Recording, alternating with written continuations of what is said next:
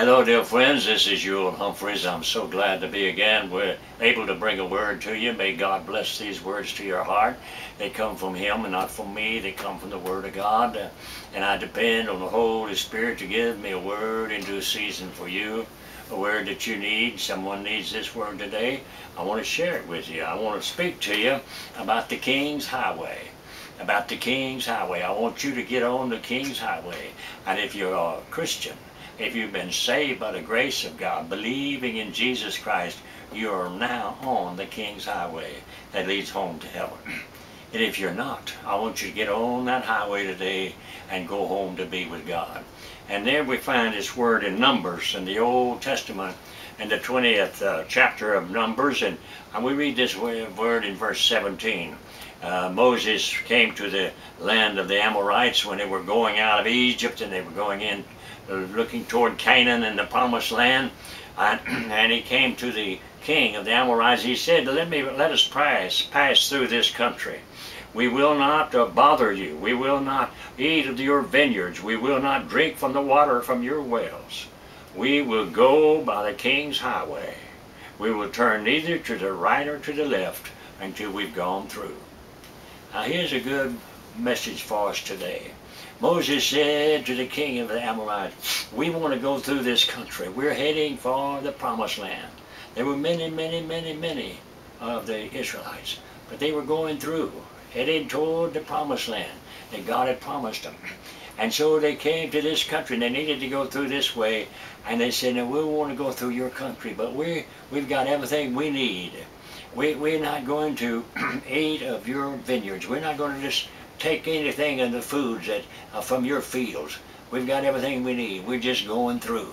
And we're not going to drink water from your wells. We've got water. We're going through. We're on the King's Highway. We're not going to turn to the right or to the left. We just want to go through until we get to the promised land. And so it is a good word for us today as Christians.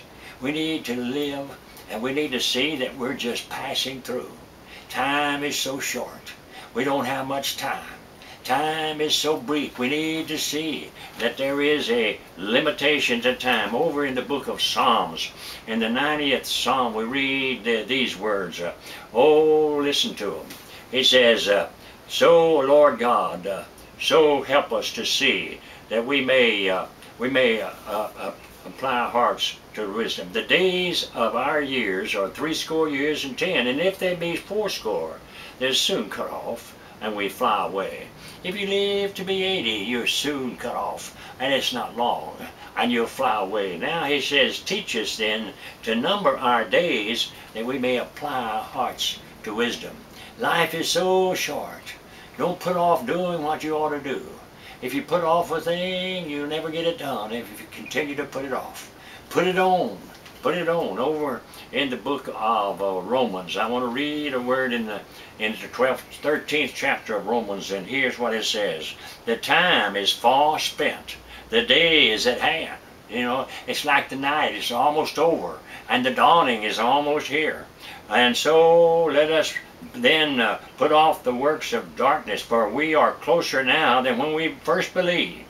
The night is far spent, the day is at hand. Let us therefore put off the works of darkness and unbelief, and put on the garments and the uh, uh, amount uh, of light, and the garment of light. And so we say, he says here, dear friends, oh, we know that the time is high time for us to wake out of sleep, for the for we're nearer now than when we first believed and became Christians. And Lord knows that the time is coming when He's coming back. And so we need, since the time is far spent, the day is at hand, we need to put on the put off the works of darkness, put on the garment of light, and be ready for Jesus. And so we need to recognize that time is short. The day is at hand. It won't be long till the trumpet of God will sound, and the Lord will come in His glory. And I want you to be ready for Him when He comes. The Bible says we can be ready if we're willing. And so the time is short. The time is so short. We must put on and do the things of God while it's day, while it's day. I like the story told about the the uh, the professor that was teaching painting uh, scenery and murals. uh, uh, of uh, scenic paintings, and he took his student out, and, and he had his board there and his painting, and there was a little house out there at the foot of the hill, and he said, now get that picture there, and, and so the, the young man started painting and painting, and the sun was setting out in the west, it was going down, and, uh, and the professor said to him, what are you doing? He said, I'm painting, I'm painting the shingles on that house. He said, friend, You've got not time. You don't have time. The sun is setting. Get that sunset. Get that sunset before it goes down. You can paint the shingles later. The sunset is more important than the shingles of that house. And so it is with life. You can be taken up with doing little things that are uh, seemingly important. But the main thing is to be right with God. The main thing is to know the Lord Jesus. The main thing is to please God with your life. Spend some time in reading the Bible. Spend some time in prayer. Spend some time in forgiving. Spend some time in loving people. Sometimes you will just need to look out and look up and say, God, help me be more of what I ought to be and less than what I am. And God will help you find a way. Quit painting the shingles. Start painting the sunset because there's not much time left and the sun will be gone down. So we see the importance of doing what we can while we can. It is important. We're just passing through, Moses said. We didn't come here to stay. We're not going to live here in your country. We're just passing through. And we're all just passing through, dear friends. We're just passing through. We need to see that. And we're on the way home.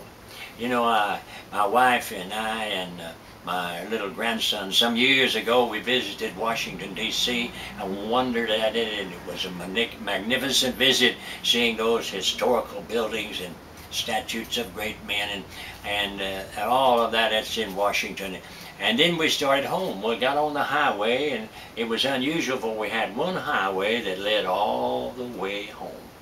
All the way home, through states after state, but all the way home one highway. Now we stopped from time to time, and and uh, we stopped at place of restaurant. Maybe we wasn't just real satisfied with the food, but we didn't worry about that too much. We were on the highway home.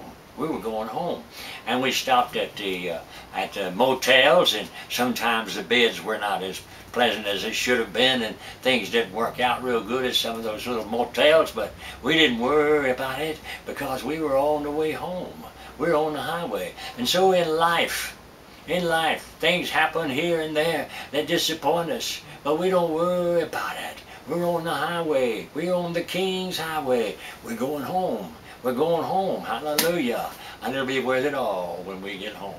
And so we see the importance of realizing that life is short. And we need to do what we ought to do now while we can. Not only is it important to see that it's short and we're passing through, but we need to see that truly there is a King's Highway out there.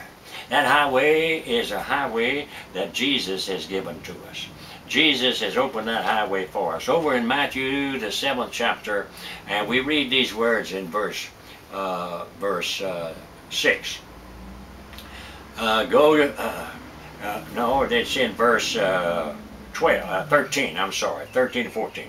Jesus said, Enter in at the straight gate, for wide is the gate, and broad the way that leads to hell and destruction, and many go in thereat. Because straight is the gate, and narrow the way, which leads to life, and few there be that find it. Oh, there is a way that's broad, a way that's wide. It's broad and wide because you can believe anything and go in that way. You can believe anything in the world and go that way. But over here there's a straight gate and a narrow way. Why is it narrow? Because there's only one way to get in it, and that one way is through faith in Jesus Christ. Jesus is the only way to heaven, and that makes it narrow. Jesus said, this is the way, walk in it. I want you to believe in Jesus, and you'll get on the King's Highway. It's the King's Highway. It's narrow because nobody can believe everything and get on it. You've got to believe in Jesus. You've got to believe in Jesus. You've got to put your trust in Him as the Lord of your life. and believe that when he died on that cross, he was dying for you, paying the price for your sins so that you could live forever. And so he is saying to you now, believe, come to me, and I will save you. My blood was shed for you. My life was given for you. I was laid in the tomb for you. I rose again for you, and I'm coming back for you. So we need to see that the way is narrow because the way is Jesus Christ. We need to see that. The King's Highway is there for you today to walk that road with Jesus and to live that life that pleases Him. The King's Highway, praise God, I'm grateful for it. I'm grateful for the fact that we're on that way going home. Now, what about the King's Highway? We should not turn to the right hand nor to the left. Like Moses said to the people there, we're not going to turn this way or that way. We're going to stay right on the King's Highway.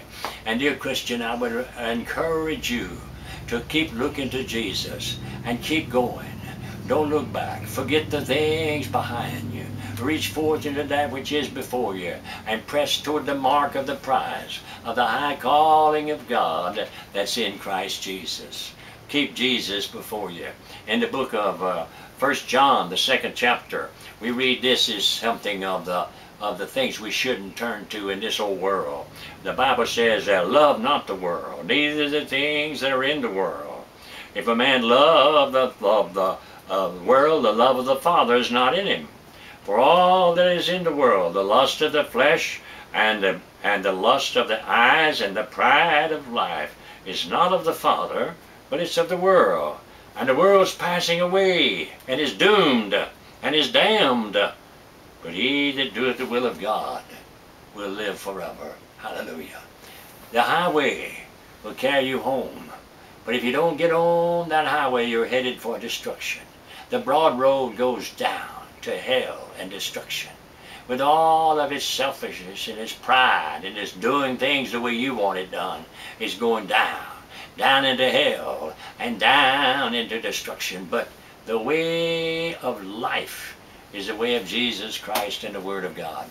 And so learn to keep your eyes on Jesus. It's so important that you learn to do that. I like what uh, that scripture over in the book of uh, Hebrews. I, I uh, uh, uh Hebrews, and I believe it's the 13th chapter of Hebrews, uh, 12th chapter of Hebrews, and I want to read it to you because it's a word that we need to read and understand. Wherefore, seeing we are encompassed and surrounded with a host of witnesses, let us lay aside everything and run for Jesus, looking unto Jesus, the author and finisher of our faith.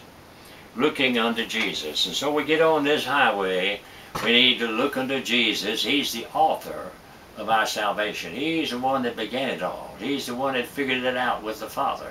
And He's the finisher of it. When on that cross, his bloody head before it fell. He said, It is finished. He meant that salvation is finished. He had paid the price. He had finished his job. He was going home. And he dropped his head and died. And died our death that we would live in him. And on the third day he rose again. And we will rise with him. And so thank God, my dear friend, believe in Jesus Christ and live forever pray this simple prayer with me so that you can be sure that you're on the King's highway. I want you to pray a prayer like this. Mean it from your heart and pray it simply and mean it seriously oh, and sincerely. Say, Dear God, out loud, Dear God, please forgive me. I believe in Jesus. I believe He died for me. I believe He rose again. I believe He paid for all my sins. I praise God Come in my heart and help me live for you as the Lord of my life. Praise God. In Jesus' name, amen. Pray that prayer and you're safe. You're on the King's Highway and you'll never come off of it. God bless you, dear friend. God loves you and I love you. In Jesus' name, amen.